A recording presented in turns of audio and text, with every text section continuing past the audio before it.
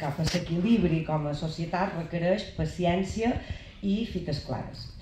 El moviment feminista se construeix en el voltant de la revisió d'un model de societat molt simple, pensat per un home blanc, heterosexual i de mitjana edat.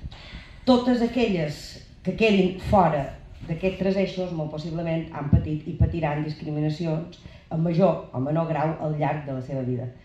I moltes vegades no les podrem ni reconèixer com a tals, no vos contam res que no sapigueu.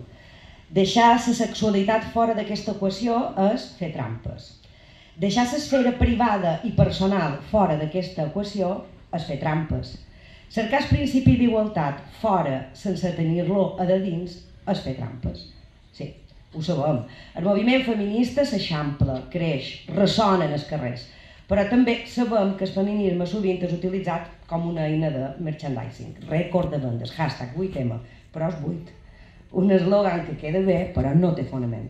No el té perquè qui el llança i el propaga sovint no és el feminisme, és el mercat i el patriarcat expressats de lila. Trobam massa sovint bones intencions externes sense que qui diu tenir-les en faci ús en privat. I és aquí on hem de recordar la famosa frase de l'activista Angela Davis. Tot allò personal és polític. Allò que feim a casa, amb la nostra parella, amb els nostres amics, amb la nostra família, amb aquell qualcú que ens agrada, és també qui som. Si les nostres relacions se construeixen sobre la falta d'equitativitat, sobre la influència que exercim sobre altres, sobre la falta d'empatia, de perspectiva, estarem construint-nos en la desigualtat. Si entenem la teoria, però no la posem en pràctica, és inútil memoritzar lemes. Si no ens ho creiem de veres, el que ens queda a les nostres mans és aigua que s'escapa dels nostres dits. Les dades del darrer observatori de l'Institut Nacional de la Joventut diuen que la violència s'adona quan una de les parts no veu a l'altra com un igual. És a dir, l'origen de la violència és la desigualtat. Quan aquesta creença està arrelada, la vivim dins de casa, a les nostres relacions i a l'espai públic.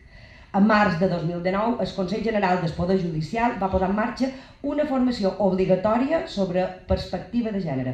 A dia d'avui, només un 16% de la judicatura l'ha realitzada. És a dir, aquelles persones que hauran de decidir en quin grau s'ha comès un delicte i quin sobre el cos d'una dona no tenen, a la seva immensa majoria encara, cap tipus de formació específica en el tractament de violència masclista. Santes allò que explica el feminisme o només memoritzar lemes.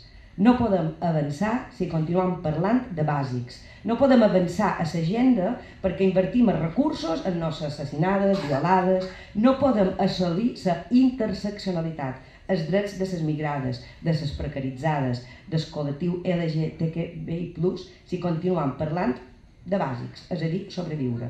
Estem cansades de sobreviure en un món pensat a mida per uns quants, perquè no hem vengut a sobreviure hem vengut a viure.